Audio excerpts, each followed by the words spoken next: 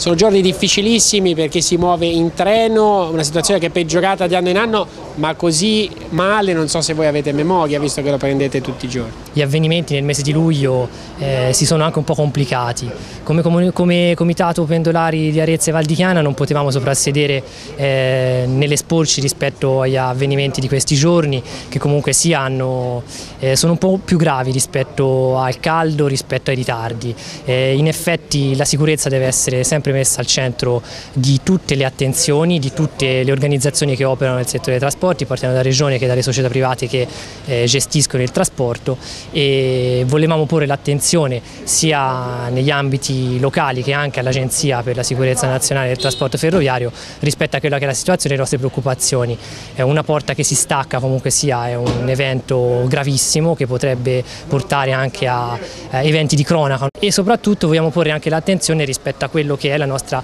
perplessità secondaria, ovvero che eh, da una situazione di questo tipo ne derivi un eh, peggioramento del servizio ferroviario, ovvero alcuni treni non sono in grado di viaggiare eh, al di sotto della galleria della direttissima, non vogliamo che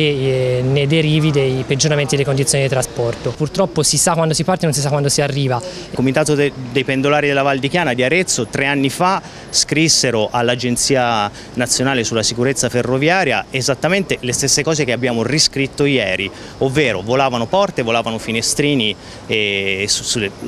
in, in, condizioni diciamo, assolutamente poco sicure. Noi non sappiamo cosa sia accaduto, però come viaggiatori perlomeno eh, il diritto